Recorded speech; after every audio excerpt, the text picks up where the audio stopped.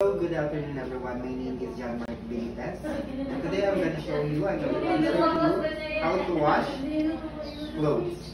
First, check the cord of the washer if it's 120 or 210.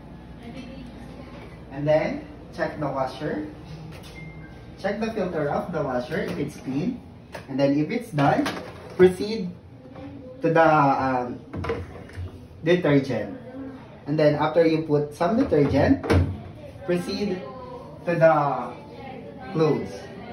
Separate uh, the, uh, the clothes into colored and white and then check the label or the etiquette of the dress. If it's washable, put into the washer and then proceed. Power on the washer, set the settings of the washer, check the water level, then wash, then rinse, spin and dry, then start.